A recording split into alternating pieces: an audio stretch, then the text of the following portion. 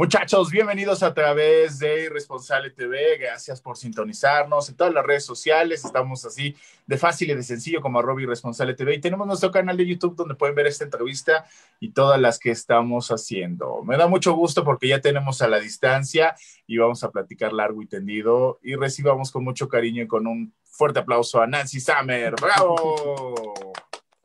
Hola, Jorge, ¿cómo estás? Bien, Contento de saludarte. Sí, oye, ya desde hace unos años que, y, sí es real, ¿eh? desde hace unos años que nos conocemos y que no habíamos coincidido por alguna u otra circunstancia, pero bueno, ya estamos acá a la distancia. que esto y que el otro, y nada más nunca nos ponemos de acuerdo. Y mira, ahora ya nos pusimos por fin de acuerdo, y de aquí en adelante vamos a hacer más entrevistas para que no se diga que no hacemos entrevistas. Ándale, sí, esa es la actitud.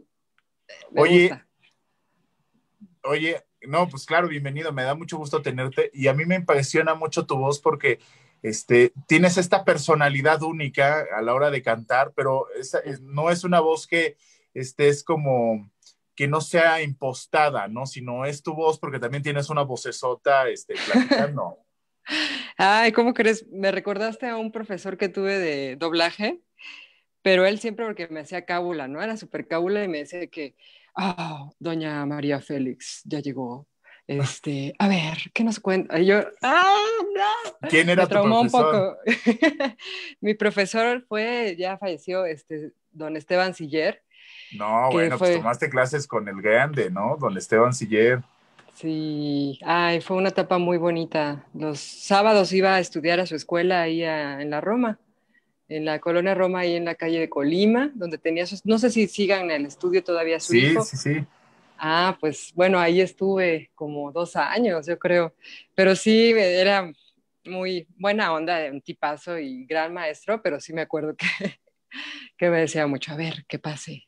Doña María Félix. yo, ah, me traumó. Sí, me traumó un poquito, pero bueno. Ya me daban puros papeles así de, o hasta de, de niños, ¿eh? De niños o de, de, hombres, así, de, o, de, o de negras, ¿no? Así. Pero bueno, muy divertido. La verdad es que ya no seguí explorando esa parte del doblaje, pero es, muy padre también. Pero lo tuyo es este, este trabajo con la voz, ¿no? Y te lo, y te lo digo porque sí en, la, en, la, en tu música, a la hora de cantar, este, siento algo que suena algo muy peculiar y muy particular. De repente a las chavas que, las, las, las, chavas que están surgiendo ahorita, este, inclusive los discos piratas les ponen la, este, las Natalias, ¿no? Porque todos, ah. este, este, porque está Mon Laferte, porque está Natalia Lafourcade, porque está Carlita Morrison, y de repente todas ellas empiezan como a tener, hacen como en tendencia mucho el timbre de voz con sus semejanzas, pero cada una con sus peculiaridades, ¿no? Pero el que, el que, el que no sabe, el que nada más se, se encarga de etiquetar los discos piratas y el que se le pasó, y, yo creo que al que le resultó gracioso le pusieron las Natalias, ¿no? Pero tú rompes con este esquema, con este tono y se oye muy eh, particular y podría yo decir hasta peculiar el tono de tu voz. Oye, Jorge, no, pues muchas gracias. Es un, un gran halago, la verdad, que venga de tu parte, que tú escuchas mucha música, entrevistas a muchas y muchos artistas emergentes, independientes y pues más bien es una cuestión bien, bien este, difícil esa de la etiqueta, ¿no? De, de, etiquetar las, tanto los estilos como los géneros, como las voces, es como bien difícil. Y yo creo que es lo que también a uno como artista es lo, lo más difícil como poder este, desarrollar una, pues un estilo, ¿no? Y todos tenemos influencias, ¿no? O sea, ya sea de Natalia, ya sea de los Beatles, de lo, que quieras, pero tenemos este, influencias. Ya va pasando. Ya va, pasando el, el, este, el ropavejero. el de los conchones. Oye, pero y, y, tiene su parte positiva donde pues este, bandas como Caifanes, que en su momento fue como muy peculiares, o bandas como Café Tacuba, que fueron tan peculiares que pues tiene esta contraparte que es la lucha para sobresalir y que de repente este, llegar a estos puntos muy altos, pero finalmente ya cuando la gente se da cuenta de que es algo diferente, este, pues se convierten en, proyectos muy exitosos, pero previo a eso hay como un trabajo inmenso por no, no subirse a esas tendencias, ¿no? Claro, pues es todo un proceso, ¿no? Este, de años, yo creo que toda la vida nunca acabas de, encontrar, o, más bien siempre estás en la búsqueda, ¿no? En la búsqueda de esta identidad, en la búsqueda de, del argumento, ¿no? Del discurso, que es como que también lo más importante para, en este caso, para la música, para un compositor, para alguien que escribe canciones y sobre todo que, que quieres transmitir algo a través de tus letras a la gente. Creo que eso es como lo que te lleva, pues prácticamente podría ser toda la vida, ¿no? Yo recuerdo que hace, cuando empecé a escribir hace 10 años, eh, como siempre pasa, ¿no?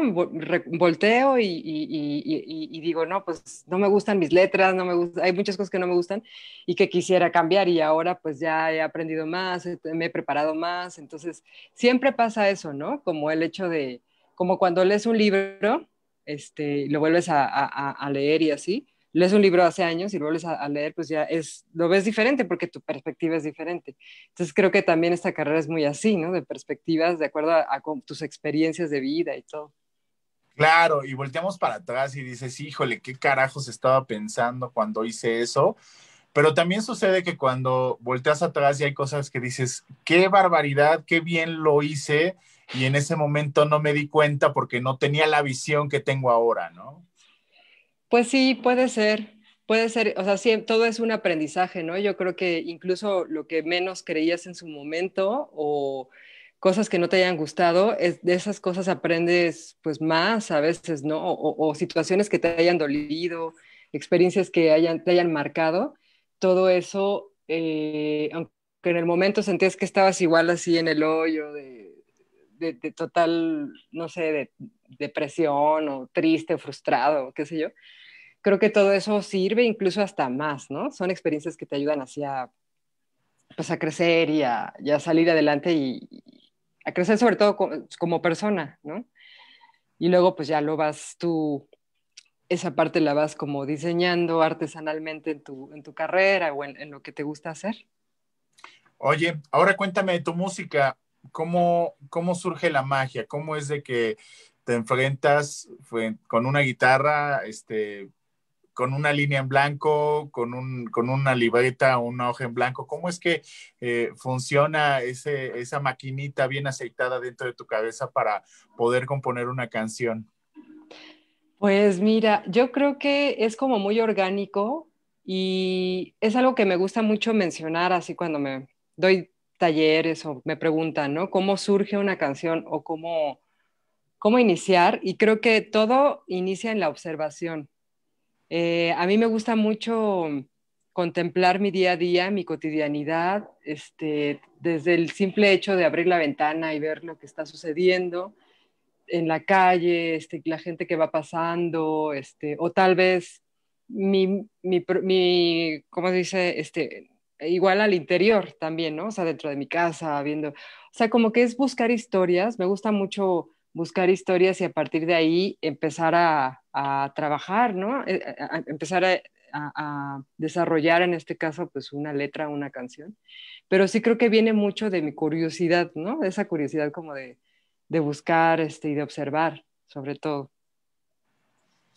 Sí, porque podrían pasar cosas este, en, este, en esta vida que ya es de acelere, de redes sociales, de plataformas, de tecnología, donde el mundo va tan rápido, ¿no? Y muy pocas veces podemos tener este, esta oportunidad de detenernos y a reflexionar de cosas este, simples, ¿no? De cosas que este, nos acompañan, bien dices, en nuestra cotidianidad, ¿no? Y que de repente pasan este, desapercibidas porque no tenemos este tiempo. E inclusive ahora con este, este podríamos decir, este, este mal paso, pero también puede ser una bendición esto de la pandemia, donde ha detenido todo para ponernos en un momento en el que debemos de darnos tiempo para reflexionar, para hacer las cosas con calmita, inclusive para escuchar música y tener el tiempo y la serenidad para disfrutarla, ¿no? A profundidad.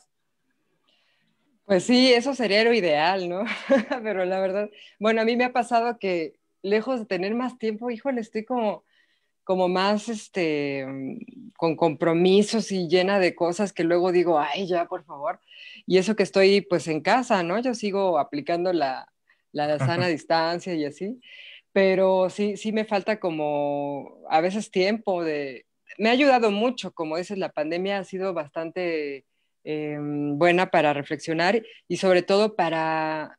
Es, es un poco curioso, pero si no hubiera sido la pandemia, a lo mejor no hubiera yo lanzado así mis, los sencillos que ahora empecé a lanzar desde junio, porque yo quería presentar el disco, ya sabes, como más a la clásica escuela, este, presentarlo y pues tener el, objeto del disco, ¿no? Que la gente pudiera también llevarse el disco en un foro con público, pero pues no se pudo y la, y la pandemia pues ahora nos obliga y nos orilla a, a, reaccionar de maneras distintas y sobre todo también que la música y la industria ahora está también este, evolucionando de diferente manera, ¿no? Ya sabes que ahora los sencillos más que los discos, ¿no? Son los que están como este pegando, la gente descarga más más canciones, sí, o sea, hay que adaptarse también, ¿no? Y creo que eso nos ha enseñado mucho la, pandemia también a, subirnos a ese tren, ¿no? De, la inmediatez que es tan, uff, es impresionante. Oye, yo se los he dicho también a sus artistas en estos tiempos que he tenido la oportunidad de entrevistarlos y te lo digo a ti, muchas gracias, de verdad, este, es de reconocerse porque el que estén lanzando música en estos tiempos que son complicados para todos, este, funcionan no solamente como entretenimiento, sino como consuelo, porque recurrimos a la música cuando tenemos una preocupación, cuando tenemos una alegría, cuando tenemos algo que festejar, cuando tenemos algo que, que, este, que reflexionar y la música siempre tiene las melodías, las palabras, los puntos exactos donde lo dijo alguien más, pero y lo dijo porque ustedes literalmente como artistas se abren las costillas, se sacan algo maravilloso de adentro y este, los seres mundanos, como somos el resto de los humanos, que no tenemos esta posibilidad de tener los sonidos y las palabras exactas para haber, haberlo dicho y haberlo hecho como ustedes lo hacen. Entonces, pues de verdad, muchas gracias por seguir generando música, por seguir este, publicando y por no haberse detenido en, por, por, por esta cochinada de la pandemia. Pues sí, la verdad es cuesta trabajo, ¿no? Pero creo que sí, la, música y cualquier arte es, es sanador, o sea, realmente experimentar algo creativo, algo que tu mente pueda pensar en otras cosas y pueda, pues, inspirarse, ¿no? Y puedas crear y puedas decir, ay, esto lo hice yo, este, nació de mí, de mi inspiración. Es súper bonito, digo, en mi caso, pues la música siempre ha sido como una gran fuente de inspiración en buenos, malos momentos y en todos, ¿no? En todo momento más bien. Entonces creo que ahora, pues mucho más con la pandemia, esta situación que nos ha orillado también a estar en casa, que nos ha eh, aislado de nuestra gente, de nuestros amigos, pues nos ayuda muchísimo también a, a enfocarnos y a poder, este, pues seguir creando, ¿no? Este, para, primero yo creo para sanar uno y, y, yo, y luego pues ya esas esas este, canciones, por así decir, pues a lo mejor se vuelven canciones o no, ¿no? O solamente son una manera como de... Primero, primero sanan ustedes y ya después comparten la medicina. Sí, sí, hay veces que sí funciona. Oye, Nancy, ¿cómo te seguimos? ¿Cómo te perseguimos en las redes sociales? ¿Y qué otras cosas no podemos perdernos a través de tus plataformas? Pues me encuentran como Nancy Summer, el apellido se escribe Z-A-M-H-E-R y así estoy en todas las redes, este, Instagram, Facebook, YouTube. Pueden ver en mi canal de YouTube, pueden ver ya los videoclips que lanzamos. En junio lanzamos el primer sencillo del disco que estoy dando a conocer ahora, se llama Sangre de Cacao, y mi segundo sencillo que acabamos de lanzar el 15 de octubre, este video, lo pueden ver en mi canal de YouTube también y pues seguiremos este, publicando sorpresas, subiendo, actualizando sobre todo este, todo lo que vamos haciendo. Entonces me encantaría que pudieran eh, seguirme en mis redes y verlos por ahí. Oye, yo te mando un abrazo y muchísimas gracias y un aplauso para ti, Nancy Summer, a través de ah, Irresponsable TV. ¿Te parece bien si nos despedimos con esto que se llama Amaranto? Claro que sí, sí, por favor. Pues de hecho es el segundo sencillo que te comenté, que estoy ahora lanzando. Y pues los espero en mis redes. Ojalá que se den una vuelta por ahí. Yo encantada. Hay muchas sorpresas, presentación de, disco virtual y otras sorpresillas por ahí que se vienen.